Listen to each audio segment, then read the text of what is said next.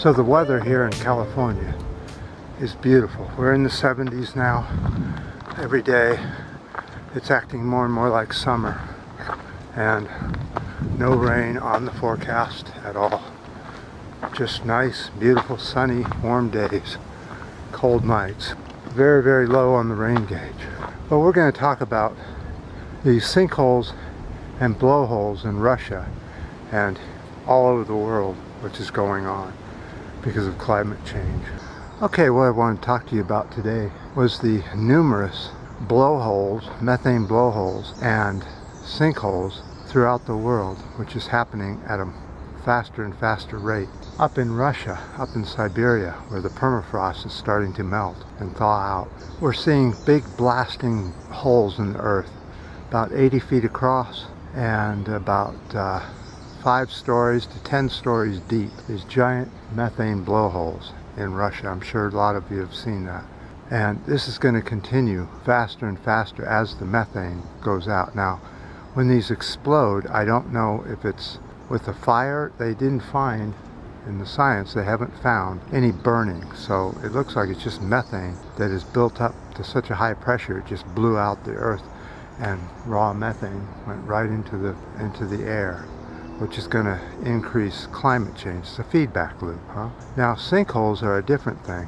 They're also where permafrost is melted and thawed and buildings and stuff sag down into them. The difference between the two is the blowholes have a rim, a big rim because of, it was an explosion, whereas sinkholes just sink down and usually it has something to do with water, uh, underground rivers and that sort of thing, waterways and they uh, tend to be where buildings are, cities, and where people park their cars or drive. All of a sudden, the sinkhole will just open up. Usually, it has to do with rain. So, the more rain we get, the more sinkholes we're probably going to get.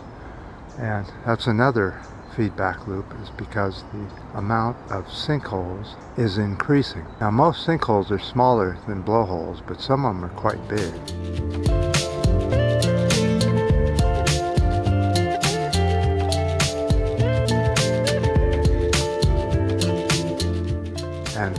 Continue on.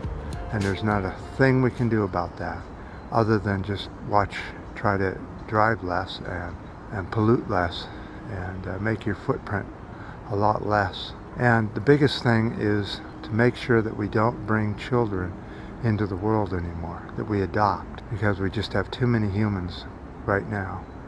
And now we don't know what's going on in the oceans deep down but around the Siberian area of up in the northern area where the, the ocean freezes over every year. They're also getting thawed out permafrost down into the ocean and the methanes are starting to seep into the water column now, when methane seeps into the water, it tends to be absorbed by the water as it goes up, so that uh, about 50 feet is about the maximum you can get any release from the bottom of the ocean to the top of methane. The methane pretty much just dissolves into the water. Now, here in California, because of the weather, we're not having any rain. Our rains have disappeared pretty much, and we're very low on rain precipitation and it's pretty doubtful now that we'll get any more real heavy rains by the end of the, the rainy season. And uh, fortunately for us, because we've had so much dry air blowing around here in California, that the uh, fortunately the grass is still green from our December rains. Hopefully the uh, grass will stay green for a while so we can avoid early wildfires and all that smoke and everything. Not looking forward to this summer. Don't know what it's going to be like. Every summer seems to be different now. We don't know how bad the fire season's going to be. But all of this stuff is sort of a feedback loop that we can't stop. Will we be able to stop the feedback loops? I don't know. It doesn't look like anybody's really pushing for it. So that's all I wanted to cover today.